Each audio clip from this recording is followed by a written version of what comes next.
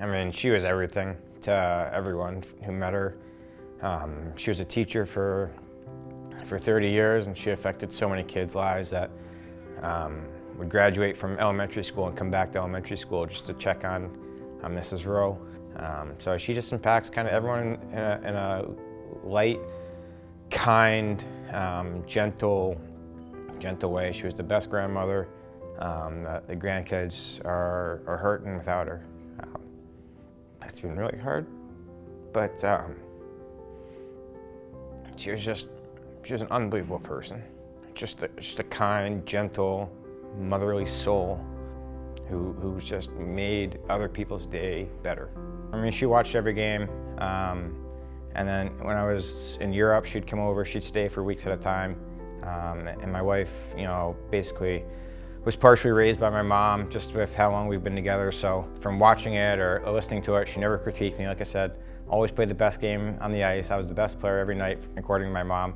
So it was always nice to be able to come back and, and have my dad say, ah, you know, I thought you could have had this or that. My mom said, you played great, you know? So one of those, and then, you know, if you're in college, she'd, she'd sneak a $20 bill into my, my back pocket without me knowing, just to take care of me while I was away. Uh, so my mom has had for years um, a cough and doctors couldn't figure out what it was. And um, she's had it for years. I was part of her, she's part of her, just the cough shit accompanied my mom, but you know, she went and got tests done, never, never anything, and then, um, you know, her, something else started to hurt, and I knew something was bad, but I, she was always very private, and so I never knew what it was. You know, they called me and said, I gotta talk to you.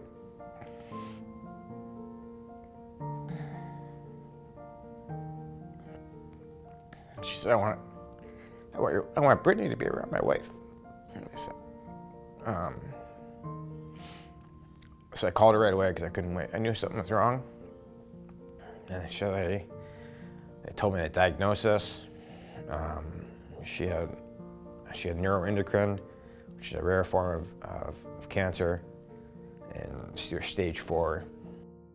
So, but you're going to start to notice that she was going through treatments, and so um, and so when that started to happen, and you just saw the the transformation really really quickly, and that was really hard. I was starting to be worried that I wouldn't make it home. But um, we got to spend the summer, most of the summer with her, part of the summer. Um, and my wife allowed me to, I went there every day, spent hours and hours and just wanted to soak it all in. Cancer sweeps the whole family. That's the difference. It doesn't sweep one person, it sweeps the whole family. Especially with her and her position in our family and how much people cared for her, it was like a lightning bolt struck the middle of her house. So, um, it's been tough. It's been tough learning about it, um, going through it, and uh, and now in our case, unfortunately, trying to move on in life through that.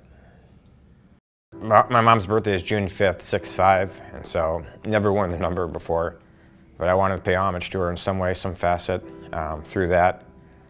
Uh, so that's a really meaningful number for me. Um, so I'm extra prideful when I put that on. Just finding the simplicity in life, making that uh, the beautiful moments of life, whether it be um, how the how, how, the clouds in the sky will be forming one day, um, and how uh, the colors of the trees in the fall she would have been, you know, absolutely enthralled with. Um, I, I made the I put the kids on the counter the other day, which my wife can't stand, but I did it because my mom would always make pancakes in the morning and put the kids on the counter and they would love it. And they'd have, they'd have uh, flour over everything and syrup on the counter and, and so just little things like that. So yesterday I made, I made pancakes with my kids on the counter. Very simple. She loved grandkids, she loved teaching, she loved the students, and she loved their family.